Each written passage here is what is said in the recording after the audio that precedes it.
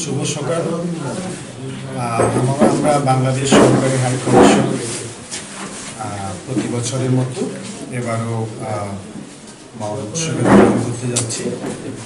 প্রতি বছরের মতো এবারও আমরা বাউল উৎসবের আয়োজন করতে যাচ্ছি। সেটা আগামী উনত্রিশে ডিসেম্বর,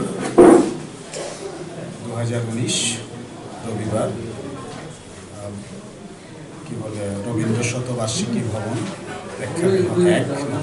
অনুষ্ঠিত হবে বিকেল পাঁচটা বাজে সেখানে আমরা সকল ত্রিপুরাবাসীকে নিমন্ত্রণ জানাই।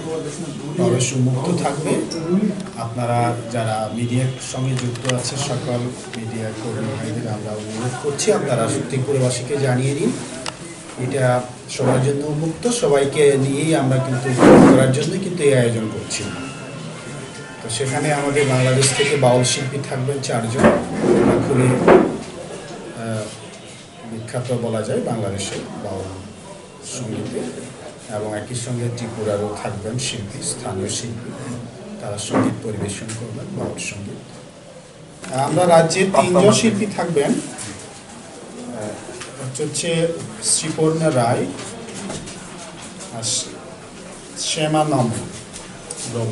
হুম। একটা হচ্ছে সুপর্ণা দেবনাথ তিনজন এখন আমাদের মিশনগুলোর একটা বড় একটা কাজ হচ্ছে সংস্কৃতি বিনিময়। সেটা আমরা যে দেশেই যাই আমরা করি তো সংস্কৃতি বিনিময়ের একটা কিন্তু বড় একটা অংশ হচ্ছে এই ধরনের সাংস্কৃতিক অনুষ্ঠানের আয়োজন করা। এটা বিনিময় করা। তারই অংশ হিসেবে আমরা এই বাউল উৎসবটা আয়োজন করি। কারণ এই বাউল উৎসবের একটা যথেষ্ট আমাদের বাংলাদেশের সঙ্গে একটা যোগাযোগ রয়েছে বাউলের সঙ্গে, ত্রিপুরার সঙ্গে। সে উদ্দেশ্যে আমরা বাউল উৎসবটা করি প্রতি বছর। এটা পাঁচটা বেজে অনুষ্ঠানটা শুরু হবে। এখানে উদ্বোধন ঠিক ওভাবে নয়। আমরা অতিথি রেখেছি বা এভাবে আনুষ্ঠানিকভাবে উদ্বোধন আমরা করব না বা সবাইকে নিয়ে উদ্বোধনটা করা হবে।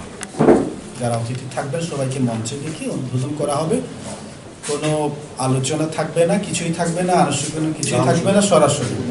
জনগণ পুরোপুরি উপভোগ করবে।